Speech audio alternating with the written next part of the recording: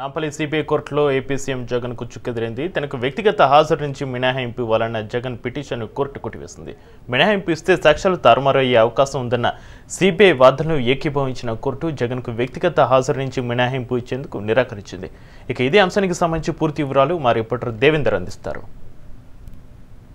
AP CM Jaganmohan Reddy వ్యక్తిగత హాజరు మినహాయింపు ఇవ్వాలన్న సిబిఐ కోర్టులో వేసిన పిటిషన్ని సిబిఐ కోర్టు తిరస్కరించడం జరిగింది. దానికి సంబంధించిన వివరాలు మనతోని న్యాయవాది కిషోర్ కుమార్ ఉన్నారు. సార్ చెప్పండి ఎలాంటి వాదనలు జరిగాయి? కోర్టు ఈ విధంగా తీసుకుంటే మరొకసారి పిటిషనర్ ఎక్కడ ఎలాంటి అవకాశాలు ఉన్నాయి? అప్పీల్కి వెళ్ళింది.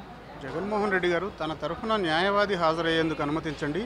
ముఖ్యమంత్రి హోదాలో నేను అధికారిక విధుల్లో బిజీగా ఉన్నందున రాలేకపోతున్నాను. కోర్టు ఆదేశించినప్పుడు తన హాజరు తప్పనిసరి అని భావించినప్పుడు హాజరు కావడానికి సిద్ధంగా ఉన్నానంటూ ఒక పిటిషన్ దాఖలు చేశారు. దాన్ని సిబిఐ న్యాయస్థానం సిబిఐ ప్రత్యేక న్యాయస్థానం కొట్టివేసింది.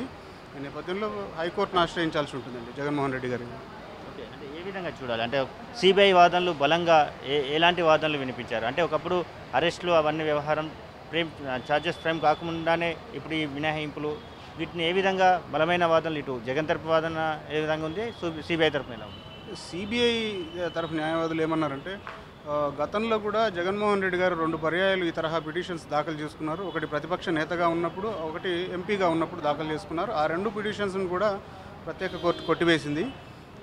ప్రత్యేక కోర్టును తీర్పును సవాల్ చేస్తూ హైకోర్టును ఆశ్రయించారు. హైకోర్టు కూడా హోదా కారణంగా మీకు మినహాయింపు ఇవ్వడం కుదరదు అని కొట్టివేసింది. ఈ నేపథ్యంలో అసలు ఈ పిటిషన్ను విచారించే పరిధే ఈ కోర్టుకు లేదని సిబిఐ ఆర్గ్యూ చేసింది. సో జగన్మోహన్ రెడ్డి గారు ముఖ్యమంత్రి హోదాలో ఉన్నారు కాబట్టి వారి హా వారి హాజరు తప్పనిసరి. వారి హాజరుకు మినహాయింపు ఇవ్వడం వలన సాక్షులు కొంతవరకు ప్రభావితమయ్యే అవకాశం ఉందని సిబిఐ ఒక ఊహాజనితమైన వాదన చేసింది. కోర్టు ఒక రకంగా సిబిఐ వాదనతో ఏకీభవిస్తూ ఆ పిటిషన్ను కొట్టివేసింది. ప్రధానంగా ఆదాయ వనరులు వృధా అవుతాయి. ఇక్కడికి వస్తే ఇప్పటికే ఆర్థిక మాంద్యము తర్వాత కొత్త స్టేట్ కావడం నేపథ్యంలో అని చెప్పేసి కూడా జగన్ అసలు ఎంత ఖర్చు అవుతుంది? ఒకవేళ జగన్ ఇక్కడికి వస్తే పరిస్థితి ఎలా ఉండబోతుంది?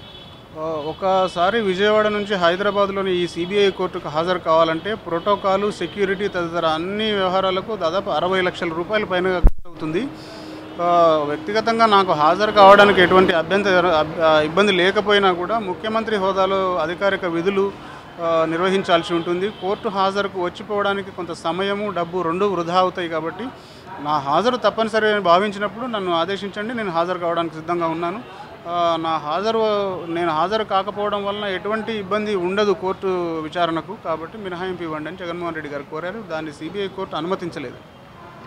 మొత్తానికి ఇది అంటే జగన్మోహన్ రెడ్డికి హాజరైతే వ్యక్తిగత హాజరుకు నాకు ఎలాంటి సంబంధం లేదు. కానీ ఒక సీఎం హోదాలో హాజరైతే మాత్రం ఇబ్బందులు తలెత్తే అవకాశం ఉంది.